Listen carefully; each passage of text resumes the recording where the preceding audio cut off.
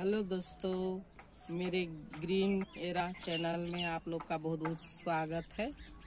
अब आज मैं पिटूनिया का जो है सो खिला हुआ को मुरझा गया उसको तोड़ रही हूँ।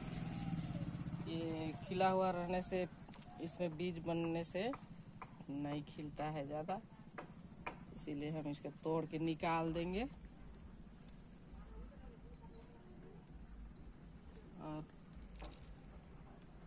तोड़ते रहने से ज़्यादा खिलता है। रोज करना पड़ता है। तो बहुत ज़्यादा ज़्यादा खिलता है।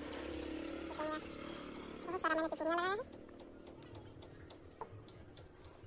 पिटूनिया का मुरझाया हुआ भाग को तोड़ रही हूँ।